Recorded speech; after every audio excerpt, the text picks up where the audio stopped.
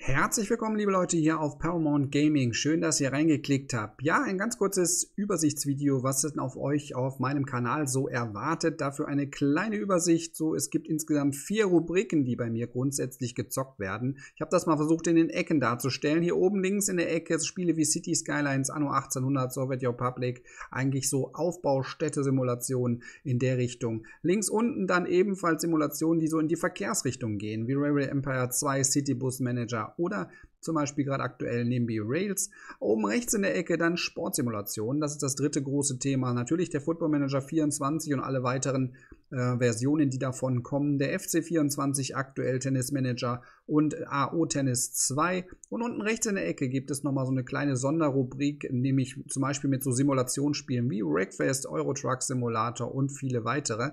Das ist immer am Samstag in der Regel ein Thema, denn wenn ihr bei mir auf der Community-Seite schaut, dann seht ihr dort einen fixen Sendeplan für den Hauptkanal. Dort seht ihr, was wann läuft. Und am Samstagmorgen um 8.15 Uhr gibt es in der Regel ein äh, Special mit irgendwelchen Spielen, die ich einfach mal so teste oder wie auch immer oder euch andere Sachen vorstelle. Also von daher da gerne mal drauf achten. Außerdem gibt es natürlich bei mir noch einen Zweitkanal, nämlich Paramount Gaming 2.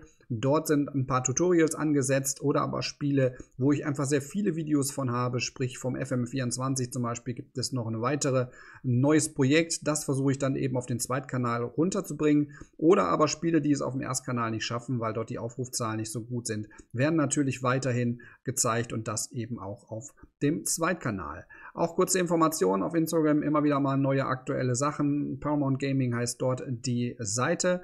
Und ja, letztendlich äh, wollte ich euch kurz auch nochmal vorstellen, warum mein Kanal überhaupt Paramount Gaming heißt. Also Paramount hat was mit Papageien zu tun und genau, ich habe zwei kleine Papageien, die ich hier oben eingeblendet habe. Die können immer wieder mal in der Aufnahme natürlich rumkreischen. Die haben ihre ruhigen Phasen, wie man es hier zum Beispiel auf dem Bild sieht. Die haben aber auch ein paar aktivere Phasen. Das ist zum einen bitte ich das zu entschuldigen, aber zum anderen gehört das natürlich auch zu meinem Kanal dazu, wie die zwei zu meinem Leben. Von daher ist das bei mir eben in dem Fall was Besonderes. Ja, kurz und knackig eine Vorstellung. Ich hoffe, ihr habt Gefallen dran gefunden. Wenn ja, dann gerne liken und abonnieren. Und dann sehen wir uns in den nächsten Videos, würde ich sagen. Ich sage auf jeden Fall danke fürs Zuschauen, wie immer. Und vor allem, das meine ich auch wirklich ernst, bleibt gesund. Bis dann.